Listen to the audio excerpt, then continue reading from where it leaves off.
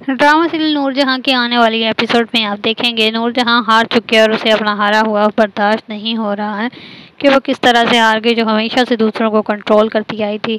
सुम्बुल अब उसके जकड़ से निकल चुकी है। दूसरी शादी करने जा रही है जब उसे काट देने आती है। तब भी हवास वाख्ता हो जाती है वहीं पर।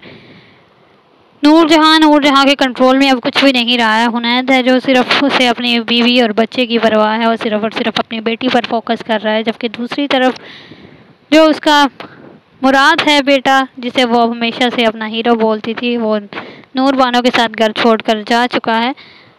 रहा उसका तीसरा और यूजलेस बेटा, जो कि हमेशा की तरह कभी माँ के पल्लू में, कभी बीवी के पल्लू में जगह ढूंढता रहता है। वही रह गया है, पीछे तो वो चाहती है उसकी बीवी को और उसे कंट्रोल करे तो महा साफ़ साफ़ कह देती है कि वो अपनी नौकरी नहीं छोड़ेगी हाँ सफ़ीर को ज़रूर छोड़ सकती है। चैनल पर नहीं आए हैं, चैनल को ज़रूर सब्सक्राइब कर दें लाइक कर दें शेयर कर दें। मिलते हैं एक नए